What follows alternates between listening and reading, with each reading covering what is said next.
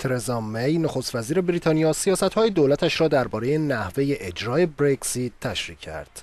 او در نشست پایانی کنفرانس حزب محافظه‌کار در بیرمنگام درباره چالش های پیش روی کشورش گفت حالا که می‌خواهیم از اتحادیه اروپا خارج شویم و سرنوشت خود را در دست بگیریم لازم و ضروری است که به مقابله با چالش های برویم که مدت زیادی است بریتانیا با آن دست و پنجه نرم کند.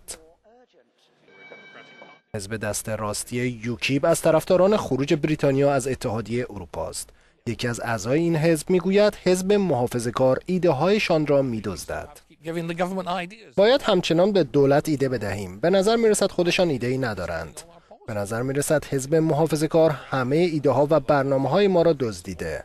این چیز خوبی است. خوشحالیم که ایده های ما را می دزدند. حال برای آنها ایده ها و برنامه های بیشتری تولید می کنیم.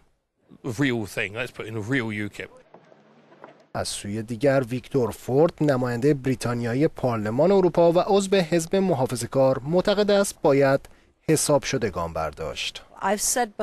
پیشتر هم گفتم اگر بریتانیا بدون داشتن یک برنامه بلند مدت اقتصادی از بازار مشترک خارج شود هم اقتصاد بریتانیا و هم اقتصاد بقیه کشورهای اروپایی متضرر خواهد شد.